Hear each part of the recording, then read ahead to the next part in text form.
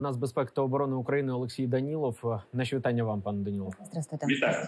Хочеться, щоб ви е, прокоментували е, те, що відбувається у нас на Донецькому та Луганському напрямку, в контексті зокрема того, що повідомляв генштаб у своєму зведенні на 18.00 про те, що ймовірно ворог вирішив відмовитись від наступу на сіверському та частково слобожанському напрямку. Ну і відповідно перегрупуватись е, на наступі у зоні проведення операції об'єднаних сил в контексті е, того, зокрема, що е, повідомляють західні розвідки. А про те, що впродовж там двох-трьох тижнів буде зрозуміло, а, куди рухається ситуація. Проте два чи три тижні тому західні розвідки робили такі самі заяви, і плюс до цього всього Пентагон. Так Пентагон каже, що не виглядає так, що Росія збирається прикручувати в е, цей вентиль з війною, і що вона хоче припинити цю війну. Навпаки, відповзає, щоб зализати рани і ще раз е, ну вдарити. ваш коментар, будь ласка. Е, Я хочу сказати, коли кажуть, що вони нібито відступають, це не зовсім відповідає дійсності. Їх жене наші збройні сили. Вони тут обламали собі зуби, і тому на сьогоднішній день е, змушені от е, тікати з цієї території. От і нас доганяють наші збройні сили. Роблять все необхідне, що треба робити з окупантом. Це перша ситуація. Те, що стосується ситуації, пов'язаної на е, напрямку Донецької, Луганської, Харківської областях. От дійсно там на сьогоднішній день збирається велике угрупування військ Російської Федерації. Зупинятися вони не збираються. Я вже казав, ще раз можу повторити завдання, які ставить Путін перед своїми, скажімо так, яничарами по знищенню нашої держави. Вони нікуди не зникають. От єдине, що вони сьогодні будуть робити перегрупування, мають велике бажання саме на цьому напрямку зробити великі проблеми для наших збройних сил, і ми так само очікуємо, що найближчим часом там будуть запеклі бої вестися за нашу територію. От єдине, що я можу сказати на сьогоднішній день, що е, крім військових, у нас є люди, які очолюють ці областя Луганську, Донецьку, Харківську. Це справжні герої, ті голови обласних військових адміністрацій, які там тримають так само з військовими фронт, максимально допомагають. Тому що крім військової складової, є ще так звана гуманітарна складова, є соціальна складова. Це так само великий обсяг роботи, як- які роблять всі. Я дуже хотів би подякувати саме цим хлопцям, взагалі так всім головам обласних військових адміністрацій, які на сьогоднішній день всі лишилися на місцях і виконують свою дуже дуже важливу функцію. Ну, давайте ще подякуємо їхнім заступникам і заступникам заступників, і тим, хто вивозить сміття, тим, хто продає хліб, тим, хто виходить на аптеку, тим, хто зараз в тилу майструє їжаки протитанкові, і тим, хто годує дітей, теж подякуємо. Давайте. Ціль безвиключно, я хочу подякувати всьому, всьому нашому народу, який єднався в єдину велику нашу родину. От це то, що- те, чого вони взагалі не розуміли, вони не розуміють, чому так відбувається. Мгм. Тому що ну ви єдина велика родина, і якщо треба допомога, ми обов'язково її надаємо від мала до велика. Про Сумщину давайте поговоримо. Що це була за історія, що в Конотопський район зайшла велика колона техніки окупантів, а потім вони створили коридор для того, щоб розвернутися і вийти. Що це за маневри? Яка країна такі маневри, чи що це? Дивіться, це військова справа. От військові Російської Федерації вони трошки дивні. Вони для себе саме вигадували певні речі. Ви пам'ятаєте, коли вони тут мали велике бажання за 3-4 дні окупувати всю нашу країну, вбити нашого президента. От вони собі вигадують певні речі. і Потім, коли вони не не здійсне не здійснені, от якісь їх мрії, от вони потім дають так, мовно кажучи, заднього. Те, що стосується маневрів, які в них там були, це передислокація на сьогоднішній день. Ще раз наголошую, там найближчим часом нас очікують великі бої за нашу країну. Ми готуємося, готуються наші збройні сили, готується все наше суспільство для того, щоб дати опір цьому агресору, цим расистам, які продовжують пхатися на нашу землю. І Я б нікого не заспокоював, що це минеться там за день, за два, за тиждень. Це дуже небезпечна ситуація до того часу, поки ворог не буде розбитий. Почувати, скажімо так, нам нема на чому. Нам треба перемога. Вона має бути обов'язкова, і вона обов'язково буде. Стосовно запеклих е, боїв і ситуації на Херсонщині, от е, ми цей регіон ще не обговорили. Донеччина, Луганщина, Сумщина, Харківщина була. Е, залишається Херсонщина і Чернігівщина. Потім У нас і Херсонщина, і Чернігівщина. Дивіться, у нас бої йдуть на великі частини нашої країни. Це те, чого ми не очікували. Коли кажуть, що нас попереджали, так нас попереджали.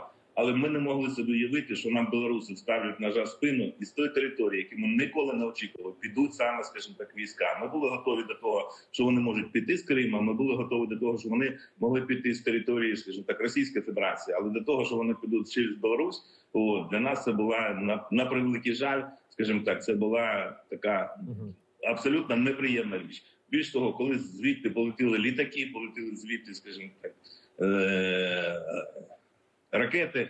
Це так, сусіди так точно не роблять. А зараз роблять вигляд, що нібито вони в цьому не приймають участь.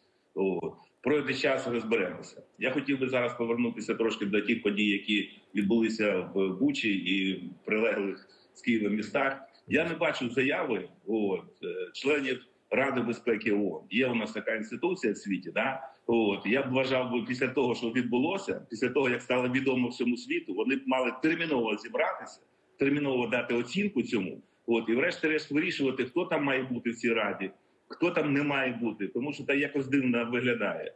Наша наша країна виборює на сьогоднішній день незалежність, виборює на сьогоднішній день свободу для всієї Європи. Вся Європа це розуміє. Це розуміють поляки, це розуміють країни Балтії.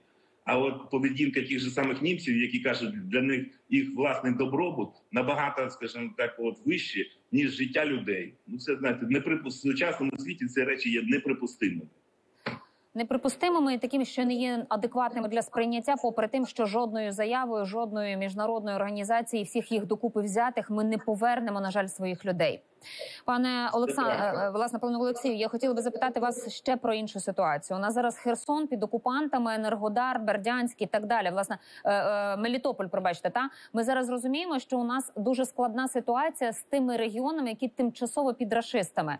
Вони роблять перепис населення, вони ходять по квартирах і а, переписують, в якій квартирі немає людей, які виїхали. Вони примусово хапають людей, проводять фільтраційні заходи. Як вони ставляться до Путіна? Вони хапають людей і готові відправляти їх а, на Маріуполь воювати в перший ряд або на Донбас. Як цьому зарадити? Чи маємо зараз а, план? Це є звичайний расизм, про який я кажу постійно. Це є та ситуація, на якій крім нас мали б ще реагувати міжнародні інституції, тому що є дуже багато е, велика кількість конвенцій, які не може ніхто жодна країна не може е, порушувати. Але на превеликий жаль, коли вони порушують ці конвенції, відповідальності ніякої вони за це не несуть. Це є неприпустима річ. Будь-яка країна, яка порушила конвенцію, має бути е, мам, мам, е, дуже швидко покарана за це порушення. Ті наші діточки, які загинули, які вбили расисти на цій на цій війні. От їх вже більше ніж 158 е, дітей. Ну це просто знаєте. Я я навіть не знаю, які слова треба підбирати для всіх всіх установ організацій, які б мали цим питанням перейматися, для того, щоб вони врешті-решт зрозуміли, що треба якомога швидше ставити це питання і речі називати своїми іменами. Я можу сказати, зараз час не тільки для міжнародних інституцій, зараз час для багатьох країн світу визначатися на якому вони боці. Вони на боці світла чи вони на боці темряви. От а є ще третя категорія, яка хоче бути посередині, і в залежності від того, як закінчиться е, війна, вони тоді прийдуть або до одної, або до іншої сторони. Це набагато гірше ніж ті люди, ті країни, які вже визначили, що вони за світлу сторону або вони за темну сторону. Це саме небезпечні люди, які знаходяться країни, які знаходяться якраз посередині. От, пане Даніло, про темну сторону, а саме про Білорусь, яка встромила нам ножа у спину, як ви висловились. А їх плани, точніше, плани Лукашенка самопроголошеного по використанню живої сили е, білоруської армії. Е, як можна оцінити сьогодні вірогідність таку чи ні? Плани засунуті глибоко у гузло. Дивіться, вони на сьогоднішній день, навіть якщо будуть велике бажання мати, неспроможні будуть е, заходити сюди. Вони відразу отримують великий опір. Ми свідомо розуміємо, що там відбувається. Єдине, що я хотів застерегти, коли уходять рашисти, вони мінують за собою е, територію. Це дуже небезпечно. Я хотів би на сьогоднішній день до всіх звернутися, хто має велике бажання повернутися до своїх домівок, повернутися до тих міст, там де були бої, бути вкрай вкрай обережними саме з цього приводу, тому що розтяжки, тому що на сьогоднішній день приховане минування є майже по всій по всій території, там де були ці рашисти. Пане Олексію, а давайте поговоримо про Одесу. Маємо повідомлення про влучання ракетний обстріл. Ми чули раніше, були спроби, спрацьовувала щоразу ПВО. Нині теж спрацювало, але тим не менше попадання є. Що відомо про Одесу? те, що стосується е, планів е, рашистів, вони мають бажання е, знищувати наші нафтопереробні можливості. Одеси це так само стосувалося. От це, це війна, розумієте. Ми на сьогоднішній день жодне місто нашої країни на превеликий жаль не знаходиться в безпечній в безпечній віддалі від того, що відбувається сьогодні на фронті. Це може бути не тільки Одеса, це може бути будь-які міста. Я хотів би подякувати нашій протиповітряній оборони. Ми дуже багато збиваємо ракет, які летять на нашу країну з від рашистів. Але на превеликий жаль, техніка не все може збити. І є випадки, коли вона на жаль потрапляє, скажімо так само в об'єкти не тільки нашої критичної інфраструктури. Ви бачите, що вони б'ють по жилих кварталах. Ви бачите, що вони б'ють по живих людях. Ну це не люди. Я не знаю, як їх там можна називати, скажімо так, цих рашистів. От на превеликий жаль, це війна. Ну зрозуміло, але варто ж розуміти по регіону ситуацію. Наскільки імовірність є те, що будуть заходити з моря, чи таки будуть намагатися бомбити одеської е, одеський регіон серед іншого?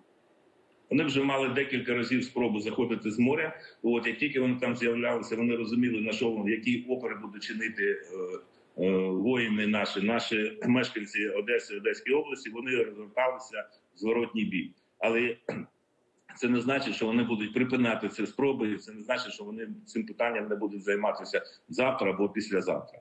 Одеса, так само як і всі наші інші міста, знаходиться під загрозою. І ще раз наголошую, якщо ви чуєте е, сигнали тривоги, будь ласка, життя людини є безцінна річ. Будь ласка, в укриття, в босховища, зберігайте своє життя, тому що нам потрібно для перемоги. Пане секретар, в контексті продовольчої безпеки і е, знову ж таки посівної, яка триває, ну принаймні у тих регіонах, там е, де можливо її проводити в контексті безпеки. Яка ситуація з цим? Ну це е, непроста річ. Ми е, розуміємо, що нам треба сіяти, тому що треба, щоб був хліб. От у нас запаси е, на сьогоднішній день більш ніж достатньо для е, того, щоб ми пройшли цей сезон. Але е, це завдання наших е, аграріїв сіяти, сіяти і сіяти для того, щоб було що збирати. Сьогодні ця робота на певних територіях відбувається.